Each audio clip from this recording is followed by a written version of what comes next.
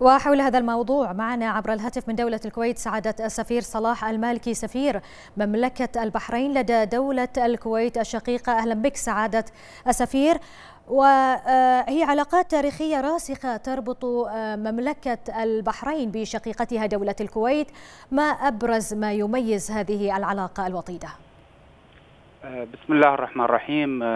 في البداية لا شك أن أفراح ومسرات وأعياد دولة الكويت الشقيقة هي أفراح وأعياد مملكة البحرين التي تتقاسم مع دولة الكويت العديد من المواقف التاريخية المتوارثة من الآباء والأجداد. وبهذه المناسبة يشرفني أن أرفع بداية أسمى آيات التهاني والتبريكات إلى القيادة الحكيمة بدولة الكويت المتمثلة بحضرة صاحب السمو الشيخ نواف الأحمد الجابر الصباح وجميع أفراد الشعب الكويتي بمناسبة الذكرى الستين لانضمام دولة الكويت إلى الأمم المتحدة كدولة عربية إسلامية ذات سيادة ومحبة للسلام فاعلة في محيطها العربي والإسلامي والدولي. حتى أضحت اليوم هي مركز للعمل الإنساني بفضل سياستها الحكيمة.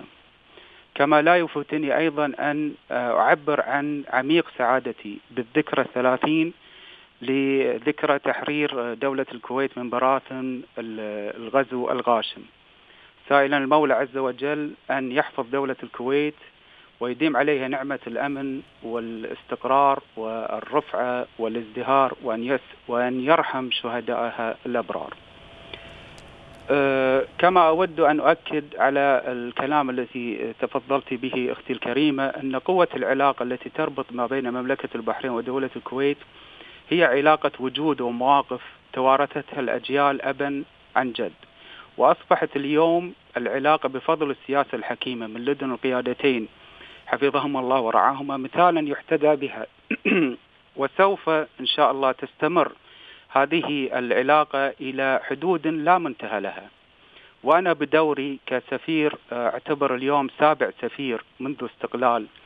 أو منذ إقامة العلاقات ما بين دولة الكويت ومملكة البحرين كعلاقة دبلوماسية سوف أبذل كثير من الجهود الخاصة برفعة وتقدم وازدهار هذه العلاقة التي يعني تقوم على أسس صلبة كما قلت لك علاقة تاريخية تشهد بها كثير من المواقف بين البلدين في كافة المستويات.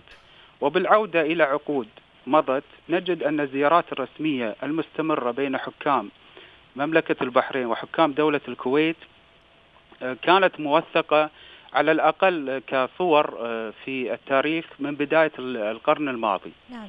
وهي متواصلة ومستمرة وكانت العلاقة وطيدة بين الحكام وأيضا بين الشعبين في في مجمل العلاقات منها أيضا التجارية وفي كل المراحل طبعا البحرين تكون لدولة الكويت قيادة وحكومة وشعبا كثير من المحبة والاحترام. ونشيد دوما بحكمتها في كثير من المواقف ومن ضمنها العمل العربي المشترك والعمل الخليجي.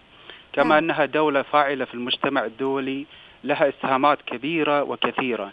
لذلك وقف المجتمع الدولي مع دولة الكويت أثناء الغزو الغاشم جميع الدول وقفت تحيي أمير دولة الكويت رحمة الله عليه كان الشيخ جابر أحمد الصباح في ذلك الوقت. العلاقة سوف تستمر بإذن الله. وطبعا ما يخالجنا شك إن الأزمة الصحية الحالية يعني ألقت بظلالها على كثير من الأمور التي كان المفروض يعني نقوم بها كتعزيز العلاقات وكذا ولكن الاستمرار في الاتصالات هي دائما موجودة وعلى كافة المستويات. نعم بالتأكيد. سعادة السفير صلاح المالكي سفير مملكة البحرين لدى دولة الكويت الشقيقة. شكرا جزيلا لك.